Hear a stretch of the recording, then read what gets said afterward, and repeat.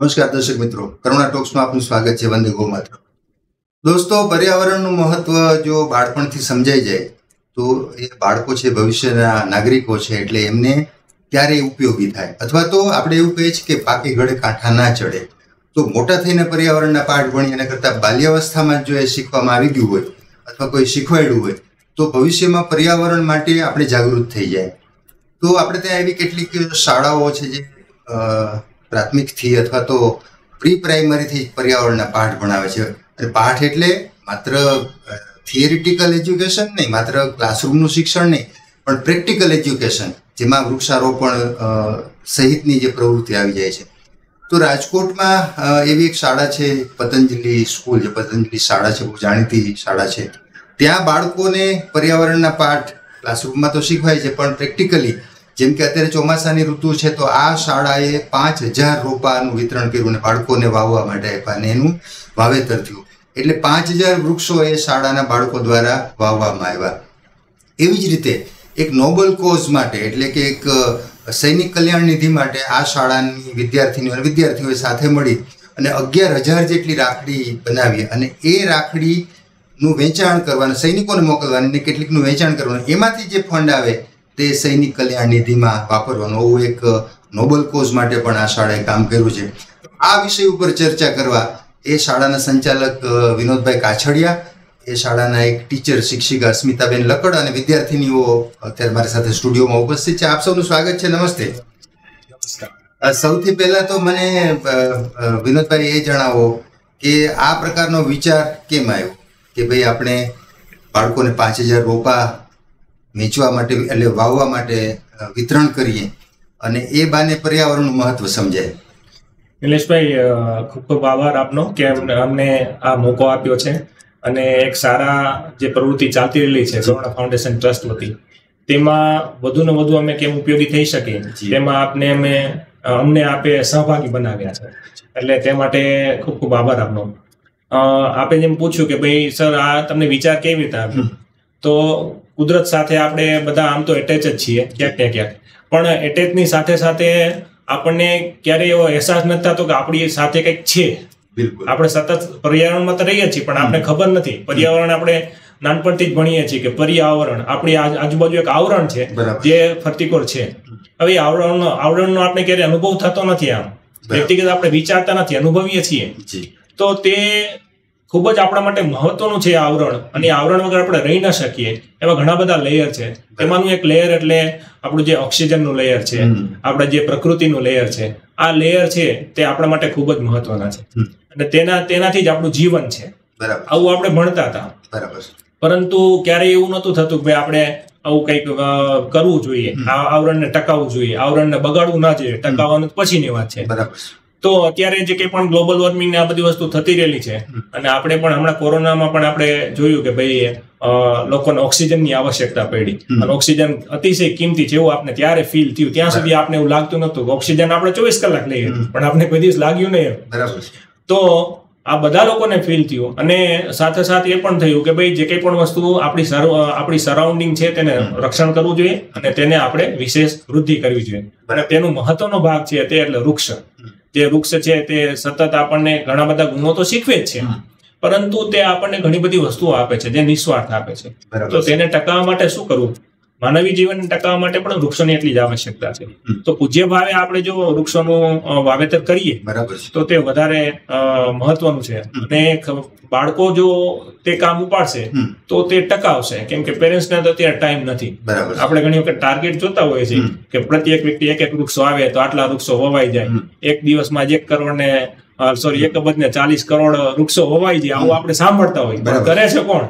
જેમ કરુણા ફાઉન્ડેશન ઘણું બધું કામ કરે છે. બરોબર છે. પણ એવું કરતું નથી તો આ બાબત અમને લાગી કે આપણે પ્રયત્ન કરીએ અને બાળકો જે વૃક્ષ વાવે અને તેનું સંવર્ધન કરે. બરાબર અને તેના પ્રત્યે તેની લાગણી જન્મે. અચ્છા, આપણે કયા પ્રકારના વૃક્ષો જે રોપા આપ્યા છે બાળકોને વાવવા પાંચ હજાર? તો મોટે ભાગે દેશી કુળના વૃક્ષોનું અત્યારે આપણે ત્યાં વાવેતર વધુ થાય છે. તો એ પ્રકારના દેશી કુળના છે, કયા પ્રકારના વૃક્ષો છે? વધુ પડતું આપણે દેશી કુળના. અને બાળકોને આમ સ્વાભાવિક છે કે લાંબા ગાળાના આયુર્વેદિક પ્લાન્ટ ને બધી વસ્તુનો કદાચ એને અનુભવ ન થાય. એટલે થોડુંક અમે અત્યારે શરૂઆત છે એટલે અમે એવું વિચાર કર્યું કે પેલા ફિઝિબલ થાય. કેમ કે અત્યારે લોકોને એવા પ્રશ્ન હોય છે કે ભાઈ ઝાડ છે તો મકોડા થાય છે નામ થાય છે તેમ થાય છે. પણ બાળકોને લાગણી શેનાથી જન્મે? તો નાના નાના પ્લાન્ટ છે નાના નાના ફૂલ છોડ છે કે જે ફૂલ જોઈને એને વાવેલું છે ને તેમાં ફૂલ આવશે ને તો એ ખુશ થશે. બરાબર અને તે માણી શકશે. અને તેના પ્રત્યે એને એટેચમેન્ટ થશે. એટલે એવા નાના ફૂલ છોડ પછી એવા અમુક આયુર્વેદિક પ્લાન્ટ અને આપણા જે કંઈ પણ સરાઉન્ડિંગ જે આપણે પ્લાન્ટ હોય તે જ પ્લાન્ટ આપણે વાવવા માટે આપવા માટેનો પ્રયત્ન કર્યો છે. બરાબર છે. અચ્છા ભૂતકાળમાં આપણે આ પ્રકારના વૃક્ષારોપણના પ્રયોગો અથવા તો રોપા વિતરણ અથવા એ એ રીતે કરેલું છે કે પહેલી વખત આ પ્રયોગ કર્યો છે? ના ઘણા વખત અમે આની પહેલા પણ અમે ઘણી વખત વૃક્ષારોપણના કાર્યક્રમ કરેલા છે. આની પહેલા આપણે જ્યારે રાજકોટના ચારસો વર્ષ પૂરા થતા હતા તે સમયે અમે લગભગ ચારેક હજાર વૃક્ષ અમે મોટા વૃક્ષ પ્લાન્ટ બધી જગ્યાએ વાવવાનો પ્રયત્ન કર્યો હતો. અને ખૂબ વિશાળ પાયે તે એક કાર્યક્રમ કર્યો હતો. ત્યાર પછી અમે એવું વિચારતા હતા ભાઈ જ્યારે વિદ્યાર્થીનો બર્થડે હોય ત્યારે. બર્થડે ના દિવસે આપણે કોઈ ગિફ્ટ ચોકલેટ કે એવું ના આપીએ પરંતુ એક પ્લાન્ટ આપીએ જે તેના માટે એક સ્મૃતિ બને એક સંસ્મરણ બને. એવી રીતે પણ અમે આની પહેલા ઘણા બધા પ્લાન્ટ્સ આપણે આપેલા છે. જી જી. ખૂબ સરસ. અચ્છા, અસ્મિતાબેન મારી સાથે છે તો અસ્મિતાબેન, તમે પર્યાવરણનો વિષય ખાસ કરીને વિદ્યાર્થીઓને ભણાવો છો, બાળકોને. તો વિદ્યાર્થીઓ કેટલો રસ લેતા હોય છે? તમે, આપણે તો મોટેરા છીએ બધું સમજીએ વૃક્ષનું મહત્વ, પર્યાવરણ, પણ તમે નાના બાળકોને જ્યારે ભણાવતા હો, અથવા પ્રાઇમરીમાં ભણાવતા હો, ત્યારે બાળકોને એમાં થિયરિટિકલી આપણે તો ક્લાસરૂમમાં ભણાવવાનું છે. તો કેવી રીતે તમે એને સમજાવો? અથવા તો પર્યાવરણનું મહત્વ બાળક કેવી રીતે સમજે? કેવા પ્રયાસ તમે કરતા હો? બાળકને પહેલા પેલા તો નાના હોય એટલે એ લોકોને ખ્યાલ ના આવે કે કેવી રીતના આપણે શું આપે છે. એને અમે ત્યાં અમારે વૃક્ષો ઘણા બધા છે. તો એ વૃક્ષો જોવા માટે અમને એ લોકોને લઈ જાય છે નીચે.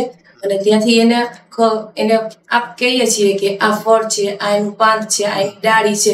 અને એ આપણને શું શું આપે છે એની ઉપયોગિતા શું શું છે ને તે દ્વારા એ બાળકોને જાણ કરીએ છીએ. ઘરે જઈને પેરેન્ટ્સને કહે છે એ લોકો. ખૂબ સરસ. અચ્છા, સાહેબ, આ વખતે પર્યાવરણનું કામ તો તમે વર્ષોથી કરો જ છો. આ વખતે આ એક બીજો પ્રયોગ પણ, એટલે એ પણ ભૂતકાળમાં તમે કર્યું જ હશે કે બાળકો છે તમારા, જે વિદ્યાર્થીઓ છે, એ જ રાખડીનું નિર્માણ કરે. રાખડી, તમે મટીરિયલ આપો, રાખડી બનાવે અને એનું સેલિંગ થાય, એમાંથી જે આવક થાય એ સૈનિક કલ્યાણ નિધિ માટે તમે મોકલવાના છો. કેટલીક રાખડી પણ ત્યાં મોકલવાના છો. તો એ પ્રોજેક્ટ વિશે થોડીક વાત કરી દો. આમ જે રાખડી બનાવવાનું કે રાખડી સૈનિક કલ્યાણ નિધિ ફંડ એના માટે લગભગ અમે છેલ્લા બારેક વર્ષથી અમે પ્રવૃત્ત છીએ. અ, શરૂઆત અમે બહુ નાના એવા ફંડથી અમે કરેલી હતી કે સમજો દસક હજાર અગિયાર હજાર રૂપિયાની આસપાસનું અમે સૈનિક કલ્યાણ નિધિ ફંડ રેઝ કર્યું હતું. બરાબર. જ્યારે ફંડ આપવાની કે ફાળો આપવાની વાત થઈ ને એટલે લોકોને એમ થાય કે માગીને આપવું આવી કલ્પના હોય. બરાબર. બરોબર છે? માગીને કે કોઈ આપણે એ કલ્પનાથી આપે કે હું કોકને આપું છું આવી રીતે. પરંતુ જ્યારે સૈનિકોને આપવાનું તો એનું રિસ્પેક્ટ જળવાઈ રહે ને તેવી રીતે આપવું જોઈએ. કેમ કે તે લોકો રિસ્પેક્ટથી સ્વમાનથી સ્વાભિમાનથી જીવે છે. તો તેના માટે બાળકો જ્યારે આપે તો આપણે કહીએ તો લોકો પૈસા રોકડા આપી દે. પરંતુ તેના કરતા કંઈક હું કરીને આપું તેના માટે કંઈક તેનામાં જ્યારે કંઈ પણ વસ્તુ બનાવવું એની સેલ કરવું એમાં પ્રવૃત્ત થાવ પ્રવૃત્ત થઈને સૈનિક માટે સતત વિચારતો રહું અને તે લાગણી જન્મે અને હું કંઈ આપું તેવો પ્રયત્ન થવો જોઈએ એવી એક કલ્પના હતી. તો તેના માટેનું બેસ્ટ એટલે જે સૈનિક સાથેનો જે શબ્દ જોડાયેલો છે તે એટલે રક્ષણ. રક્ષણ માટેનો એક આપણા માટેનો દિવસ છે એટલે રક્ષાબંધન. તો રક્ષાબંધનના દિવસે આપણે એવું કરીએ કે ભાઈ સૈનિકો માટેની રાખડીઓ બનાવી રાખડી બનાવીને લોકો સુધી લઈ જઈએ. અને તે રાખડીઓ આપણે લોકોને વેચીએ પ્રયત્ન કરીએ વેચીએ અને તેનાથી જે કંઈ પણ અમાઉન્ટ આવે તે અમાઉન્ટ આપણે સૈનિક કલ્યાણ નિધિ ફંડ માટે વાપરીએ. અને આ જે ફંડ છે આ જે ફંડ છે તે કેવા લોકો માટે વપરાય? કે સૈનિકો ત્યાં છે બોર્ડર ઉપર એટલે આપણે ઉત્સવ ઉજવી શકીએ બરાબર છે. આપણે અત્યારે કઈ મજા કરી શકીએ છીએ તો કોક એવું છે કે જે આપણા માટે જાગે છે જેથી કરીને આપણે સૂઈ શકીએ છીએ. હવે એ લોકોને એમના એમના પણ પરિવાર છે. તો એ પરિવાર માટે કોણ? નો ડાઉટ ગવર્મેન્ટ એના માટે ખૂબ પ્રયત્ન કરે છે. પણ એક લાગણી વસ્તુ ભાઈ અમે આપણે કમિટમેન્ટ આપીએ કે તમે તેમાં અમારું રક્ષણ કરો છો દેશનું રક્ષણ કરો છો માતૃભૂમિનું રક્ષણ કરો છો. તો તેથી કરીને અમારી ફરજ સ્વરૂપે અમે નાના નાના હાથે અમે શું કરી શકીએ? તો તેના માટેનું એક ઉષ્મા પુષ્પ એટલે જે હુન્ડેડ સોલ્જર્સ છે જે ઘાયલ સૈનિકો છે અથવા તો શહીદ સૈનિકો થઈ ગયા છે. એમના પરિવાર માટે એક સરસ મજાની આપણે એક ઉષ્મા પુષ્પ પુષ્પ તરીકે સૈનિક કલ્યાણ નિધિ ફંડમાં અમે આ કંઈ પણ અમાઉન્ટ આપવાનું નક્કી કર્યું છે. જી જી જી. ખૂબ સરસ. આગળ ઉપર મારે જે એમાં આપને પૂછવાનું છે અચ્છા બેને આખી બધી વિદ્યાર્થીનીઓને જે રાખડી બનાવી છે એ તૈયાર કરાવી છે. અસ્મિતાબેન તમે પણ થોડું જણાવો કે તમે કયા પ્રકારનું મટીરિયલ સંસ્થાએ લાવી દીધું? તમે વિદ્યાર્થીનીઓને અને વિદ્યાર્થીઓને બોયઝ ને ગર્લ્સ બધાને કેવી રીતે તૈયાર કર્યા? કારણ કે આ કામ તો કોઈ દિવસ છોકરાઓએ ઘરમાં તો કર્યું જ ના હોય રાખડી બનાવવા જેવું. એને તો તૈયાર રાખડી બાંધી હોય. તો એને કેવી રીતે તમે તૈયાર કર્યા અને કેટલું સમજાવવું પડતું હોય છે? અથવા આ પ્રકારના કામ માટે આપણે આ રાખડી બનાવવાની છે તો વિદ્યાર્થીઓમાં કેવો ઉત્સાહ હોય છે? વિદ્યાર્થીઓમાં તો બહુ સરસ હતું. પહેલા વહેલા તો અમારા સ્કૂલનો આભાર માનવાનો આવે. કે સર અમને પરમિશન આપે છે. કે તમે મટીરિયલ અમે અમારી રીતે બજારમાં અલગ અલગ જગ્યાએ ઘણી બધી જગ્યાએ જઈને અમે મટીરિયલ જોઈએ છીએ. જ્યાંથી અમને સારું આવે છે ત્યાં અમે કલેક્ટ કરીએ છીએ. કલેક્ટ કરીને પછી અમે શિક્ષકો બધા ભેગા મળીને સેમ્પલ બનાવીએ છીએ. પછી વિદ્યાર્થીઓને બોલાવીએ છીએ અને એ લોકોને કે શીખડાવીએ છીએ. એ લોકોને સ્ટાર્ટિંગથી લઈને કે મેડમ અમને તો ઘણું બધું શીખવા મળ્યું છે. આજે રાખડી અમે ઘરે પણ બનાવવાની ટ્રાય કરશું. અચ્છા વાહ. ખૂબ સરસ. એટલે શાળામાં છે એ બધું અભ્યાસ સિવાયનું પણ ઘણું બધું શીખાતું હોય છે એના ઉદાહરણ છે આ બધા. અચ્છા જે વિદ્યાર્થીનીઓએ રાખડી તૈયાર કરી છે શિક્ષકોના માર્ગદર્શનમાં એ ત્રણ વિદ્યાર્થી એમાંથી ત્રણ વિદ્યાર્થીનીઓ પણ અત્યારે આપણી સાથે સ્ટુડિયોમાં ઉપસ્થિત છે. અહીંથી આપણે શરૂ કરીએ દરેક વિદ્યાર્થીની પોતાનો પહેલા પરિચય આપશે. મારું નામ પંડી આસ્થા હું પતંજલિ સ્કૂલમાં ગુજરાતી મીડિયમમાં નાઇન્થ બી માં અભ્યાસ કરું છું. વાહ જી મારું નામ કપૂરિયા મોસમી ગુજરાતી મીડિયમ નાઇન્થ બી માં અભ્યાસ કરું છું. જી. મારું નામ ગજેરા શ્રી. હું પતંજલિ સ્કૂલમાં નાઇન્થ બી ગુજરાતી મીડિયમમાં અભ્યાસ કરું છું. અચ્છા ત્રણેય વિદ્યાર્થીને મારે પૂછવું છે એક પછી એક કે તમે જે રાખડી બનાવી છે તમે અત્યારે લાવ્યા છો તો એક તો કેમેરા સામે પહેલા શો કરો બતાવો તમે કેવી રાખડી તૈયાર કરી છે જે દર્શકોને ખ્યાલ આવે કે આ પ્રકારની રાખડી આ વિદ્યાર્થીનીઓએ બનાવી છે. દરેક વિદ્યાર્થી ત્રણે ત્રણ વિદ્યાર્થીનીઓ તમે તમારી રાખડી બતાવો. દર્શકો તમે જોઈ શકો છો કે જે વિદ્યાર્થીનીઓએ નાની નાની નવમા ધોરણની સ્ટુડન્ટ્સ છે એમણે કેવી સરસ પરફેક્ટ રાખડી બનાવી છે. અચ્છા મારે એક પછી એક ત્રણેયને પૂછવું છે કે તમને એક રાખડી બનાવતા કેટલો સમય લાગે? મટીરિયલ તમારી પાસે તૈયાર હોય તો તમે આ રાખડી કેટલો સમયમાં બનાવી છે બીજું સંપૂર્ણપણે હાથથી જ બનાવી છે કે કોઈ મશીનરીનો ઉપયોગ કર્યો છે? અહીંથી આપણે વિદ્યાર્થીનીઓ દરેક પોતાની વાત કરશે. સંપૂર્ણપણે હાથેથી જ રાખડીઓ બનાવીએ છીએ. હા અને કેટલો સમય લાગે? એક રાખડી બનાવતા વધુમાં વધુ બે મિનિટ કા ત્રણ મિનિટ લાગે છે અને ગૂંથણવાળી હોય તો પાંચ કા દસ મિનિટ લાગે છે. ખૂબ સરસ. વાહ વાહ વાહ. જી આગળ. અમે પણ હાથેથી જ બનાવેલી છે રાખડી. આ ભાઈ ભાભી રાખડી છે તે બેથી ત્રણ મિનિટમાં બની જાય છે. વાહ વાહ. ખૂબ સરસ. જી આગળ.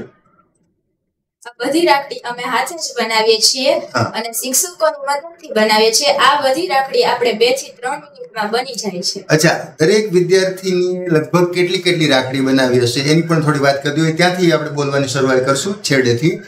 કે તમે કેટલી રાખડી તૈયાર કરી છે? પચાસો જેટલી રાખડી તૈયાર કરેલી હશે. વાહ ખૂબ સરસ. જી આગળ. અમે પણ એકલા થઈને સો બસો રાખડી બનાવી હશે ખૂબ સરસ. પણ એટલી જ બનાવી છે સો કા બસો. બરાબર. અચ્છા બેનને પૂછવું છે કે આ છોકરીઓ કીધું દરેકે સો બસો રાખડી બનાવી છે. આપણે કેટલા વિદ્યાર્થીઓની વિદ્યાર્થીનીઓ અને વિદ્યાર્થીઓ પાસે રાખડી બનાવડાવી છે અને રાખડીની સંખ્યા લગભગ કેટલી? તેરસો જેટલા વિદ્યાર્થીઓ ભેગા થઈને રાખડીની બનાવેલી છે. એક એક વીકની અંદર જ આઠ દિવસની અંદર જ સ્ટુડન્ટ બધાએ દસ હજાર રાખડી બનાવેલી છે. અત્યાર સુધીમાં. જી. સાહેબ, આ બધી રાખડીની કિંમત આમ બજારમાં આપણે લેવા જઈએ તો વિદ્યાર્થીનીઓ જે પેકેટ બતાવ્યા છે, એની કિંમત પચાસ રૂપિયા, સો રૂપિયાથી માંડીને દોઢસો, બસો રૂપિયા થતા હોય છે. તમે કન્સેશનલ રેટમાં રાખી હશે હું સમજુ છું.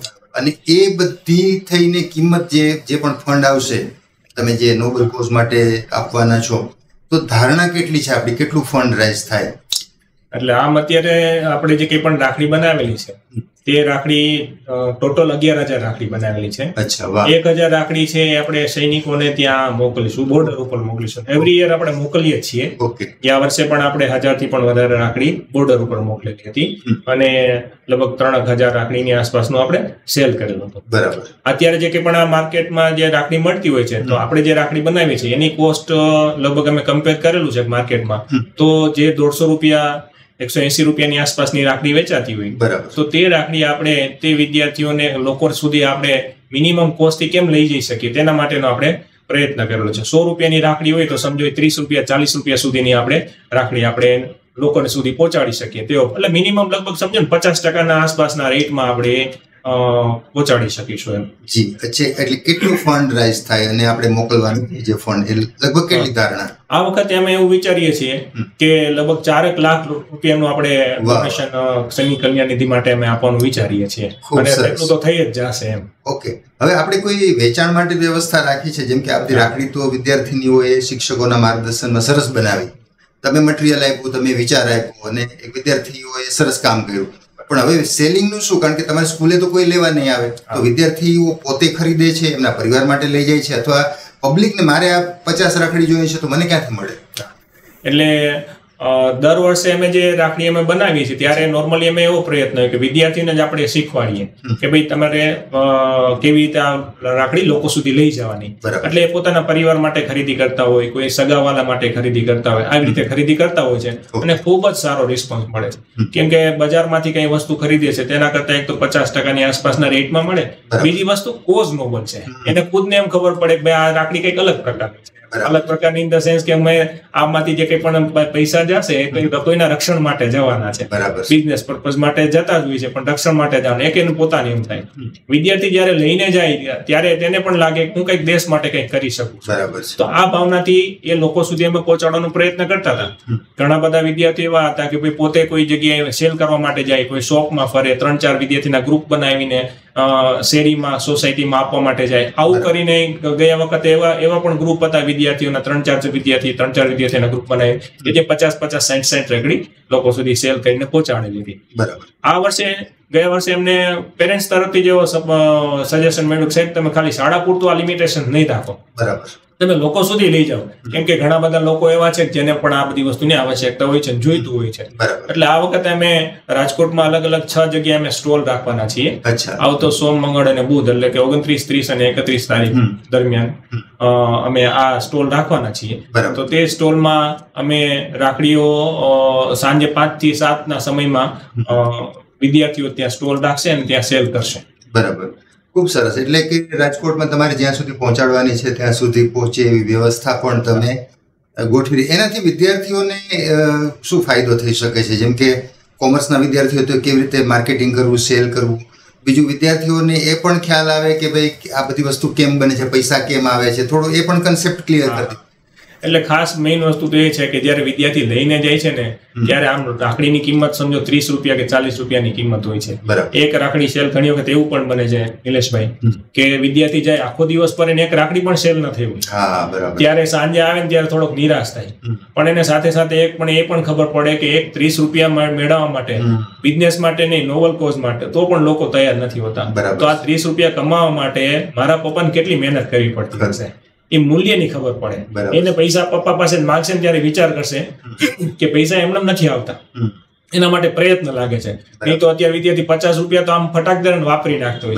પણ ત્યારે એને ખબર પડશે કે ભાઈ મારે છે ને આજે કંઈ પણ પૈસા અત્યારે વપરાય છે અથવા તો પપ્પા પાસેથી હું લઉં છું ત્યારે મારે સમજવું જોઈએ. એના પાછળ પપ્પાનો પરિશ્રમ મમ્મી પપ્પાનો પરિશ્રમ આ મારે સમજવું જોઈએ. આ એક મૂલ્ય નિર્માણ થાય. અને કોમર્સના વિદ્યાર્થી છે તો એને ખબર પડે હ્યુમન બિહેવિયર એને સમજવા માટે કે લોકો કેવી કેવી પ્રકારના આપણી રીતે બિહેવ કરે. અને આપણે એની સાથે કેવી રીતે રહેવું જોઈએ. આ હ્યુમન બિહેવિયર સમજવા માટેનો એક બેસ્ટ પ્રયોગ છે એમ. જી.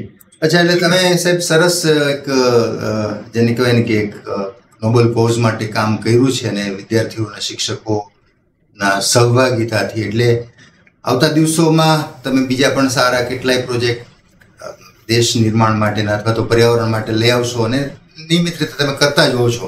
પણ આ એક બહુ સરસ મૂવ છે તમારી સ્કૂલનો, પતંજલિનો. અને એમાં બધા લોકોનો સહયોગ છે. અમારા દર્શકોને સરસ એક સંદેશો આપી દો. ઘણી વખત લોકોને એવું થતું હોય કે આપણે એક નાનકડું સેવા કાર્ય કરીએ તેમાં શું ફરક પડી જાય? દુનિયા તો બગડેલી છે. મારા એકથી કેમ સુધરે? પણ એક નાનકડું મૂવ છે એ પણ કેટલું ઉપયોગી હોય છે, તો થોડો એક અમારા દર્શકોને સંદેશો આપી દો. એક નાનકડું મૂવ અથવા નાનકડો વિચાર એ જ્યારે આપણે કરીએ ને, જો એને વિસ્તૃત સ્વરૂપે લઈને જઈએ ને તો અમે જેથી શરૂઆત કરી હતી તેથી પાંચ કે છ પ્લાન્ટ વાવવાની શરૂઆત કરી હતી. આજે એક જ વિચાર એક જ દિવસમાં અથવા તો બે દિવસમાં પાંચ હજાર વૃક્ષ આપણે વાવી શકીએ. આવું થઈ શકે. એની અને અનુભૂતિ છે ને આવા કોઈક એનજીઓ જ્યારે કરતા હોય ને ત્યારે આપણે સીધી નથી અનુભૂતિ થતી હોતી. પણ તેમાં આપણે એક્ટિવ થઈએ ને તો આપણને તેની અનુભૂતિ થાય. કરુણા ફાઉન્ડેશનમાં હું આની પહેલા પણ અમે પર્યાવરણ દિવસ નિમિત્તે મળ્યા હતા.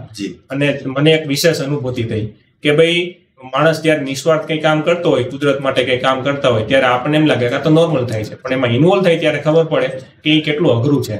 તો હું લોકોને કહીશ કે એક નાનકડું મૂવ તમે પણ એક સ્ટેપ અહેડ અથવા તો એક સ્ટેપ સારા કાર્ય માટે તમે જોડાઓ અને આવી સરસ મજાની જે પ્રવૃત્તિ ચાલે છે તેમાં તમે ઇન્વોલ્વ થશો તો એક આનંદ મળશે અને એ નિસ્વાર્થ આનંદ મળશે. વાહ. તો દર્શક મિત્રો પતંજલિ સ્કૂલ દ્વારા જે બે પ્રોજેક્ટ સરસ મજાના એક તો પાંચ હજાર રોપાનું વાવેતર અને સૈનિકોની કલ્યાણ નિધિ માટે રાખડી વિદ્યાર્થીઓએ બનાવીને એનું એક ફંડ કલેક્શન માટેનો જે પ્રોગ્રામ બે મોટા સારા પ્રોજેક્ટ આ સ્કૂલે પતંજલિ સ્કૂલે હાથમાં લીધા છે ને ઓલમોસ્ટ પૂરા થવામાં છે. તો પતંજલિ સ્કૂલના દરેક વિદ્યાર્થીઓ, શિક્ષકો અને સંચાલક વિનોદભાઈ કાછડિયા સહિત જે લોકો આમાં સંકળાયેલા છે બધાને અભિનંદન આપી, એમનો આભાર માનીએ કે એક સરસ કામ માટે એમને આખી ટીમને કામે લગાડી છે ને એ પ્રોજેક્ટ ઓલમોસ્ટ પૂરા થઈ ગયા છે કે પૂરા થવામાં છે. ફરી પાછા કોઈ નવા વિષય સાથે, નવા વિષયના નિષ્ણાતો સાથે મુલાકાત કરશું. ત્યાં સુધી રજા આપશો. નમસ્કાર.